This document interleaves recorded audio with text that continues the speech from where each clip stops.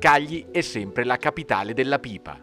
Dal 19 al 21 maggio, all'ombra del torrione di Francesco di Giorgio Martini, mastri pipai, maestri artigiani, appassionati, collezionisti e cultori del fumo lento si ritroveranno nella ventitresima edizione della Festa della Pipa che si presenta in versione rinnovata attraverso l'organizzazione del Pipa Club Italia.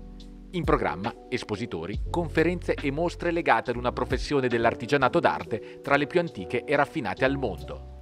Si comincia il 19 maggio con una giornata dedicata agli specialisti del settore che sfocerà nella suggestiva Affumicena.